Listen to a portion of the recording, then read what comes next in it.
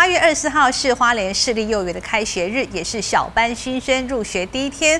为了让小朋友们可以更快融入校园生活，花莲市立幼儿园就特别举办了泡泡派对系列活动，让小朋友们是嗨翻全场。泡泡达人大手一挥，空气中突然冒出许多泡泡，让小朋友们好开心。但这样还不够，换了一种器具之后，泡泡达人更是变出超大型的泡泡，让现场惊呼声连连。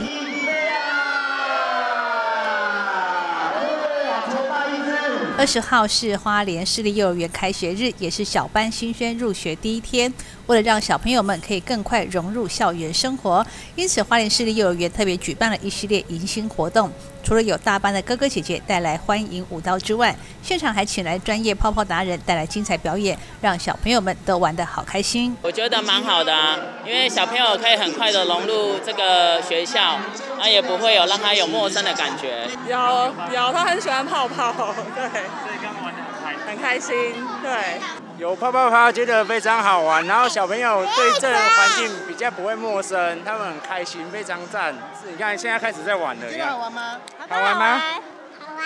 那我们今天用呃泡泡魔法的一个课程来欢迎所有的孩子们哈，用跟大家一起来玩乐的方式。那我们也非常谢谢所有的家长的信任，把孩子送来市立幼儿园。那我们这里的呃课程安排。也相信能够让家长放心跟安心。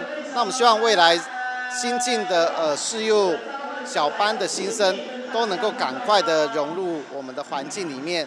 那我们相信我们老师非常有经验，也能够马上让每一个孩子赶紧的适应。精彩的泡泡表演秀之后，不免俗的还是让新生们一一通过聪明门，勉励他们都能够在这三年的学习过程中收获满满，健康成长。有的小朋友哭得稀里哗啦，舍不得跟爸妈分开；也有人像是小大人一样，放完鞋子自己就走进了教室。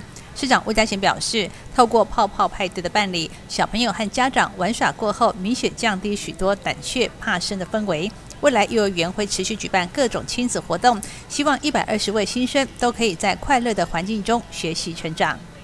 解学的情，华联市报道。